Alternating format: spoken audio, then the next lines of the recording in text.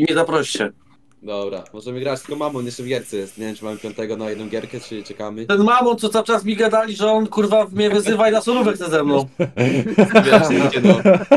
Okej. Chyba pół Twitcha chciał na tą solówę z tobą.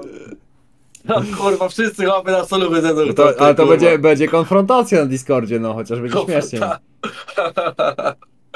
Nie no, przecież on podobno na wózku jeździ. Nie tak no. mi mówią, tak mi piszą. że mam on na wózku. No ja nie wiem, kto to jest nawet, szczerze ci powiem. Poznacie się, no. No taki w sumie streamer, no.